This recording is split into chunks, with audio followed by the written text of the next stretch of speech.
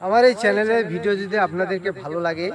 আমার চ্যানেলের ভিডিওকে একটা লাইক করবেন, একটা কমেন্ট করবেন আর সাবস্ক্রাইব করবেন। সাবস্ক্রাইব করে পাশের বেলাইকনটা অন করে দিবেন, যাতে পরবর্তী নতুন ভিডিও ছাড়া মাত্রই আপনি